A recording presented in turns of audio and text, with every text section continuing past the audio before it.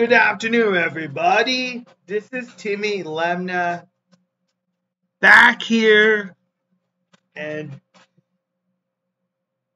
as we all know, I just want to let you know January 16th. That's uh, two weeks from tomorrow. It's my it's a Martin Martin Luther King Jr. Day of 2023 and I decided to stay home and take care of mom. So so the reason why as you can tell, the weather in the area let's take a look at let's take a look at weather. As you can tell, as you can tell, it's raining. It's raining in my area.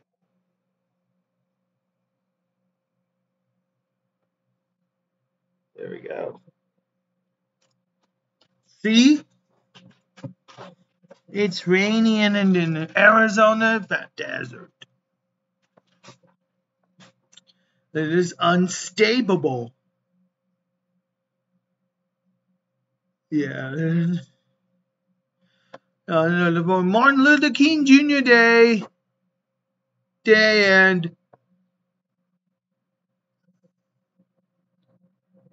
that's pretty cool. Sorry, I'm just yawning. Tomorrow I will go to. No, no, no. Never mind.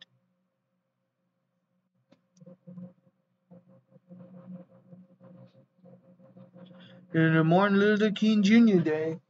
That's on January 16th. So, yeah. Uh, yeah.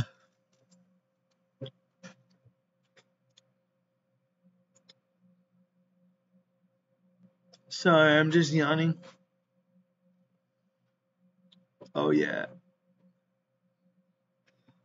I was uh, on January 16th, the Martin Luther King Jr. Day. And January 16th also is my Uncle Jim's 65th birthday. So,